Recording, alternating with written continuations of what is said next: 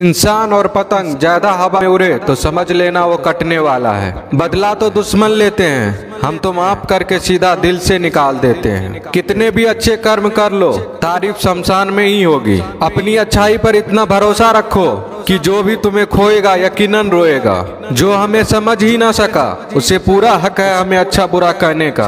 क्योंकि जो हमें जान लेता है, वो हम पर जान देता है। इंसान नहीं बोलता, उसके दिन बोलते हैं। जब दिन नहीं बोलते तो इंसान लाख बोले, उसकी कोई नहीं सुनता। रेस चाहे गाड़ियों की हो या ज़िंदगी की जीतते वही लोग हैं जो सही वक्त पे गियर बदलते हैं। मुसीबत आए तो ये मत सोचना कि अब कौन काम आएगा, बल्कि ये देखना कि कौन साथ छोड़ कर जाएगा।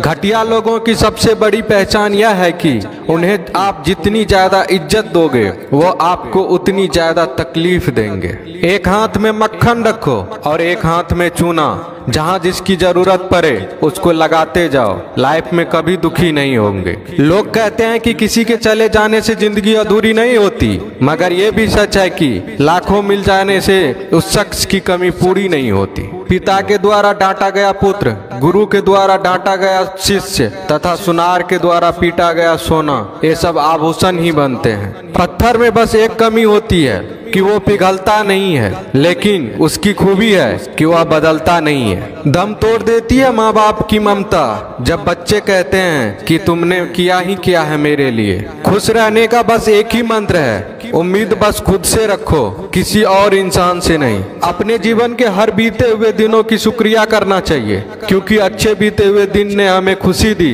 तो बूढ़े बीते हुए दिन ने सबक दिए। नए रिश्ते न बने तो मलाल न करना। पुराने टूट न जाए इतना बस ख्याल रखना।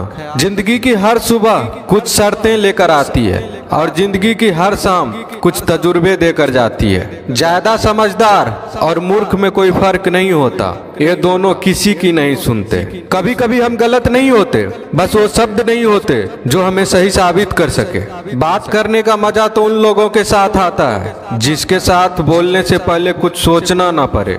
मन में उतरना और मन से उतरना केवल आपके व्यवहार पर निर्भर करता है। पहाड़ों की तरह खामोश है आजकल के संबंध और रिश्ते। जब तक हम इधर से पुकारे नहीं, उधर से आवाज़ ही नहीं आती। भरी हुई जेब आपको कई गलत रास्तों पर ले जा सकती है, लेकिन खाली जेब आपको ज़िंदगी के कई मतलब समझाती है। इंसान की समझ सिर्फ़ इतनी है कि उसे जानवर को हो तो नाराज़ हो जाता है, और शेर को हो तो खुश हो जाता है। आप होशियार हैं, अच्छी बात है, पर हमें मूर्ख ना समझे, या उससे भी अच्छी बात है। दो बातें अपने अंदर पैदा कर लो, एक तो चुप रहना, दूसरा माफ़ करना, क्योंकि चुप रहने से बड़ा कोई जवाब नहीं और माफ़ करने से बड़ी